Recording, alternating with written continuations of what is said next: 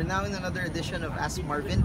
Now we're answering a question from Peter, uh, who's from Manila. He's asking, now that PLDT has dropped more than double from uh, 3,000 peso levels, what should I do? Should I buy now or should I avoid it first? Uh, to answer your question, Peter, you have to look at it from a fundamental and technical perspective. Fundamentally speaking, uh, PLDT's earnings has dropped severely and has uh, started to decline not just this year but in years past.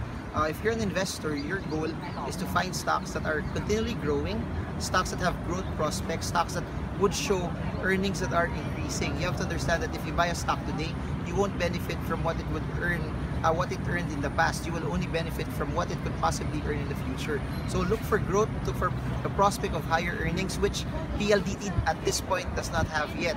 From a technical perspective, uh, PLDT is still in a downtrend. It's still in a massively bearish movement downward.